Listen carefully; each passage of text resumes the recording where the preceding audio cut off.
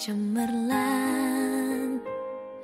Seperti hangatnya sang mentari Ku tersenyum menikmatinya.